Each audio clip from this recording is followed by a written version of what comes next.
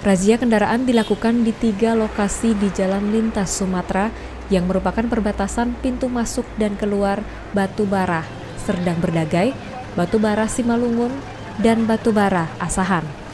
Razia kendaraan ini melibatkan puluhan personil polisi, TNI, dan gugus tugas percepatan penanganan COVID-19 Batubara. Dalam razia, petugas memeriksa identitas pengendara dan menanyakan tujuan mereka – Para pengendara juga menjalani pemeriksaan suhu tubuh. Bupati Batubara Sahir mengatakan Pemkap Batubara bekerja sama dengan Polres Batubara melakukan checkpoint di tiga titik yang berbatasan dengan Asahan, Simalungun, dan Sergei. Kapolres Batubara AKBP Ihwan Lubis mengatakan hingga kini belum terlihat pemudik yang melintas di wilayah Batubara. Jika ditemukan adanya kendaraan yang akan mudik, maka akan diperintahkan untuk berbalik arah.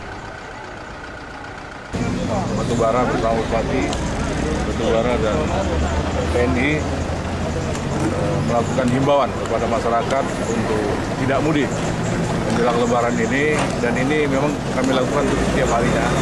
Kemudian kita himbau supaya masyarakat tetap pakai masker.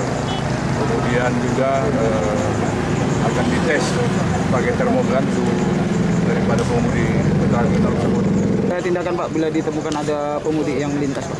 Pemudik yang melintas uh, untuk tindakan sementara kami kembalikan ke semula asalnya. Dari Batubara, Sumatera Utara, Soleh Pelka, Tribrata TV, Salam Tribrata.